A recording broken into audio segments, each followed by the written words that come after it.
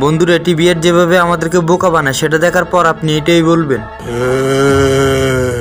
Number one কেকের ফিস্টির উপর যে ফুলটি বসানো হচ্ছে, এটি আসলে ঘি দিয়ে নয় শেভিং ফোম দিয়ে তৈরি করা হয়েছে। নাম্বার টু প্রথমে একটি চিকেনকে সুপার গ্লু দিয়ে আটকানো হয়। এরপর সয়া সস ফুড কালার এবং সাবানের ফেনা মিক্স করে চিকেনের উপর ব্রাশ করা হয়, যা দেখতে পুরোপুরি রান্না করা চিকেনের মতো দেখায়। শেষেরটা দেখার আগে আপনার কাছে ছোট্ট একটি রিকোয়েস্ট ভিডিওটিতে একটি লাইক দিয়ে চ্যানেলটি সাবস্ক্রাইব করবেন। নাম্বার থ্রি এক বাটি জেলির মধ্যে দুধ না দিয়ে কাঠের মধ্যে লাগানো গ্লু এবং বিভিন্ন উপাদান মিক্স করে ব্রেকফাস্ট তৈরি করা হয় যা দেখতে পুরোপুরি রিয়েল ব্রেকফাস্টের মতো দেখায়।